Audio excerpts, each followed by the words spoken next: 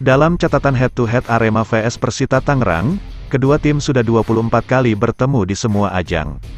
Yang menarik skuad Singo Edan tak terkalahkan dalam 18 tahun terakhir. Dalam kurun waktu 18 tahun itu, Arema dan Persita sempat bertanding 14 kali. Total 10 laga dimenangkan Arema, 4 laga berakhir imbang, dan tak satu pun laga yang dimenangkan oleh Persita. Kemenangan terakhir yang didapat Persita atas Arema terjadi di Liga Indonesia 2003, tanggal 10 September tahun 2003.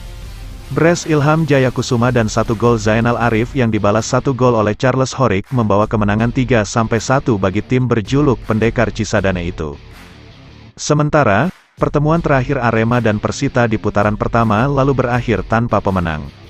Skor 2-2 mengakhiri pertemuan ke-24 kedua tim tersebut. Secara total, dari 24 pertemuan, Arema mampu mengalahkan Persita 12 kali. Sementara, 8 laga berakhir seri, dan Persita cuma menang 4 kali. Menarik menantikan hasil pertemuan ke-25 Arema dengan tim yang mematahkan rekor clean sheet beruntun mereka di putaran pertama lalu. Mampukah Arema mengungguli Persita yang sudah lama tak mengalahkan Arema itu? Inilah head-to-head -head Persita Tangerang vs Arema.